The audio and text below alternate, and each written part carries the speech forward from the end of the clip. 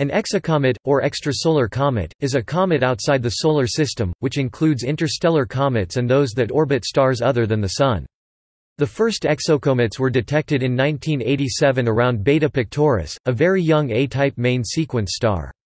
There are now a total of 11 stars around which exocomets have been observed or suspected. All discovered exocometary systems Beta Pictoris, HR 10, 51 Ophiuchi, HR 2174, 49 Ceti, 5 Vulpeculae, 2 Andromedae, HD 21620 HD 42111, HD 110411, and more recently HD 172555 are around very young A-type stars stars.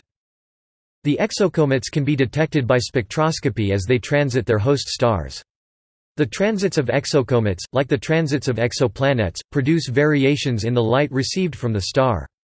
Changes are observed in the absorption lines of the stellar spectrum. The occultation of the star by the gas cloud coming from the exocomet produces additional absorption features beyond those normally seen in that star, like those observed in the ionized calcium lines. As the comet comes close enough to the star, cometary gas is evolved from the evaporation of volatile ices and dust with it. Observations of comets, and especially exocomets, improve our understanding of planet formation. Indeed, in the standard model of planet formation by accretion, planets are the result of the agglomeration of planetesimals, themselves formed by the coalescence of dust from the protoplanetary disk surrounding the star shortly after its formation. Thus, comets are the residuals of the volatile rich planetesimals that remained in the planetary system without having been incorporated into the planets.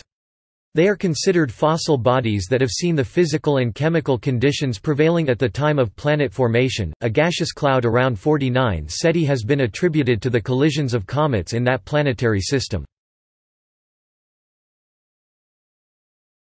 Topic Gallery Topic. See also Topic. References Topic. External links Extrasolar comets, NASA